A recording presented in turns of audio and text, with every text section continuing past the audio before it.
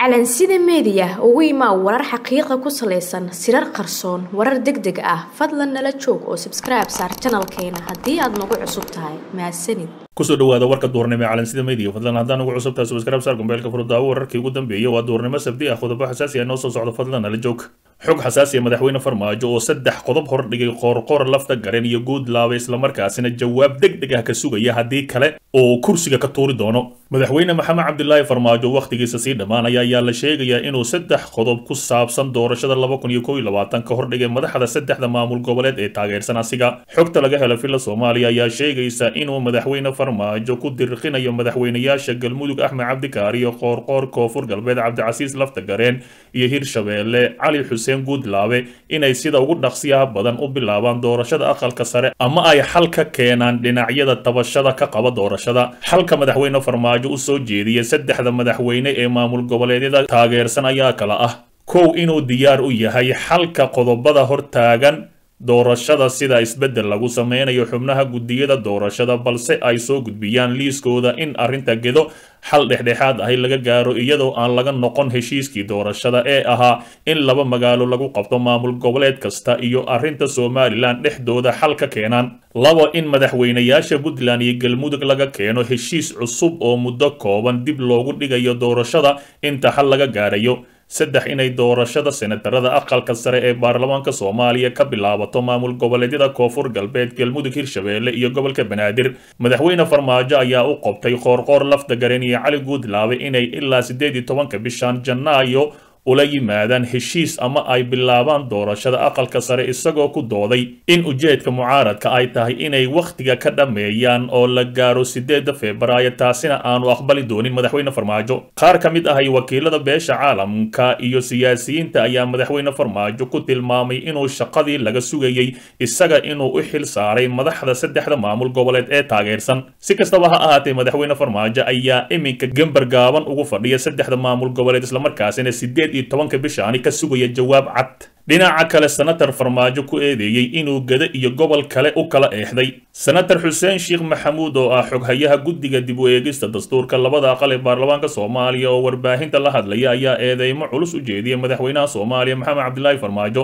Senatar xuseen ayaa dowladda federaalk ee uu hogaamiyey madaxweyne maxamed cabdilaahi farmaajo ayuu sheegay inay ku fashilantay sugidda amniga isagoona ku eedeeyey inuu ciidamo ku daabulayo deegaano aan looga baahnayn islamarkaasina nabad ahi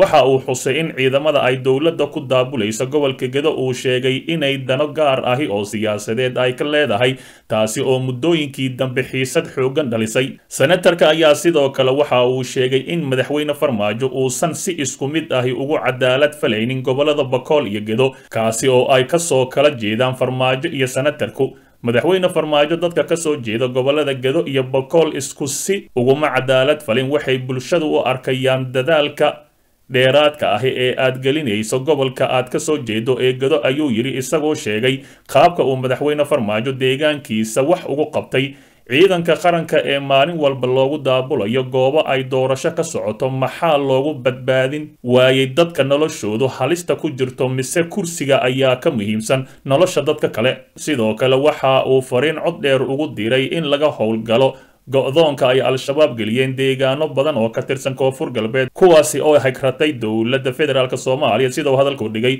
hadalka senatarka ayaa imaanaya xilli dowladda federaalk ay muddooyinkii dambe ciidamo hor leh ka dejinaysa deegaano ay ka qabanayso doorashada lagu muransan yahay iyadoo oo si gaar ahay ciidamo fara badan ugu daabushay gobolka gado oo uu ka soo jeedo madaxweyne maxamed cabdilaahi farmaajo. Dhinaca kale maxkamadda ciidamada xoogga dalka soomaaliya oo amartay in la soo qabto kooxdii shacabka ku dishay galgaduud gudoomiyaha maxkamadda ciidamada qalabka sida ee darajada koowaad xasan cali nuur shuute ayaa ku amray ciidanka dowladda soomaaliya ee ku sugan galmudug in ay gacanta ku soo dhigaan kooxaha dilalka ka geysta gobolka galguduud. Gudoomiyaha ayaa amar ku bixiyey in la soo qabto oo cadaaladda la hor keeno kooxihii ka dambeeyey dilkii dhowaan loogu geystay deegaan hoos yimaada degmada balanballe shan qof oo shacab ahi. Waxa uu tilmaamay in sidoo kale la soo qabto kooxihii dilay lix sargaal oo ka tirsan ciidanka xoogga dalka soomaaliya. Gudoomiyaha ayaa dhanka kale tilmaamay in dowladda soomaaliya ay howlgelin doonto ciidamo gaar ahi oo loogu talagalay in ay la shaqeeyaan maxkamadaha si loo soo qabto dembiilayaasha.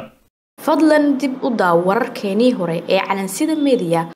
xog xasaasiya fahad yaasiin iyo madaxweyne farmaajo oo diyaariya weeraro ka dhan ah ciidanka jooga waqooyiga muqdisho iyo sidoo kale mucaaradka caanka ahi. Sida ay noo xaqiijiyeen saraakiil ka tirsan hay'adda ayaa sheegaya in nisa oo kaashanaya al-shabaab in ay qorsheynayaan sidii loo fulin lahaa dilal qorshaysan maalmaha soo socdo dilkaasi. Qaybtooda hore waxaa lagu qaadayaa saraakiil ka tirsan xoogga dalka soomaaliya oo ka aragti duwan dowladda federaalk soomaaliya iyo siyaasiyiin caan ah islamarkaasina ka soo horjeeda madaxweyne farmaajo. Xogta ayaa sheegaysa in weeraradan ay ugu horeeyaan saraakiisha la rabo in la qaarajiyo ayaa waxa ay fariisin ka dhigteen waqooyiga muqdisho waxaana ka mid ahay korneel saney iyo ciidanka la jira. Howshan waxaa si weyn u wada taliyaha nisa fahad yaasiin waxaana la sheegay in loo marayo ciidanka xoogga dalka iyadoo uu fahad yaasiin la kaashanayo al-shabaab. Qorshahani waxaa qayb ka ah saraakiisha xoogga dalka farmaajo ku heeb ahi oo ka baqaya in haddii ay xaaladu xumaato ay raggaasi qayb ka noqon karaan fashilinta howlaha uu rabo madaxweyne farmaajo. Kow ujeedada dowladda ay weerarkaasi ka leedahay ayaa lagu macneeyey inay rabto in la sii adkeeyo xaaladda cakiran ee ku wajahaya doorashada taas oo u muuqata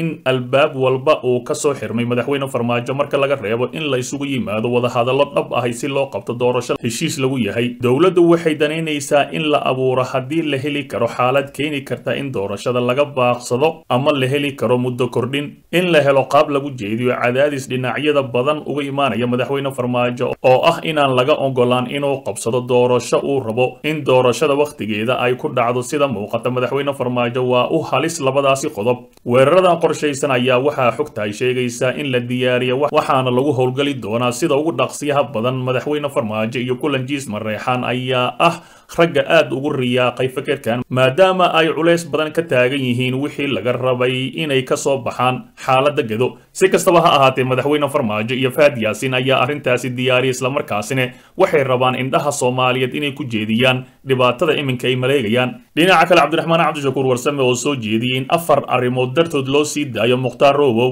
hogaamiyaha xisbiga wadajir cabdiraxmaan cabdishakuur warsame ayaa ku baaqay in la sii daayo mukhtaar robow in ka badan laba sano u xidhan dowladda soomaaliya. Cabdiraxmaan cabdishakuur warsame wuxuu aaminsan yahay in mukhtaar robow qayb libaax leh ka qaadan karo dagaalka ka dhanka ururka al-shabaab oo laga bilaabo gobolka bakool halkaas oo ay ka jirto qayladhaan ay dirayaan shacabka magaalada xudur. Hogaamiyaha wuxuu qoraal soo dhigay bartiisa facebooka wuxuuna ku baaqay in dowladda dhexe iyo maamulka koonfur galbeed ay si wadajir ahi uga shaqeeyaan wax ka qabashada dhibaatooyinka ay sheeganayaan shacabka gobolka bakool argagixisada al-shabaab waxay sannado badan go'doon ku hayaan deegaanada xudur iyo waajid waxay ciqaab wadareed ku hayaan shacabka deegaankaasi iyagoo gubaya gawaarida raashiinka daruuriga ah ee deegaankaasi loo waday maalmo ka hor waxay gubeen ceel ay biyaha ka cabayaan shacabka bacaadweyn cadowtinimada argagixisada al-shabaab waxay gaartay xeer ay shacabka nolol u diidaan waxaa ku talinaya kow in qaybaha kala duwan ee hoggaanka bulshada ay qayladhaan ka muujiyaan ficilka guracan.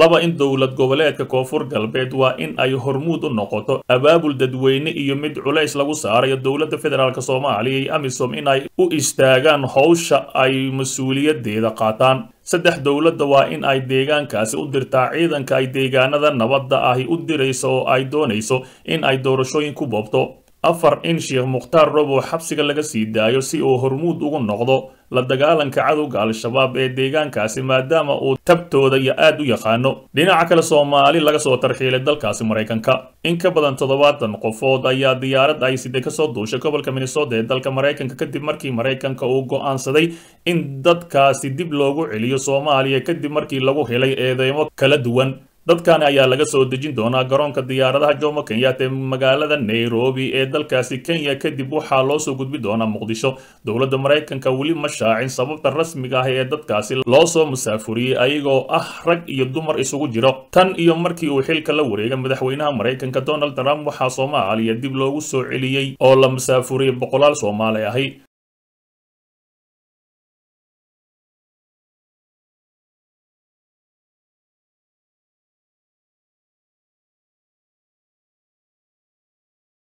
calansida meediya ugu imaa warar xaqiiqa ku salaysan sirar qarsoon warar deg deg ah fadlan nala joog oo sabskribe saar janalkeena haddii aad nagu cusub tahay. Mahadsanid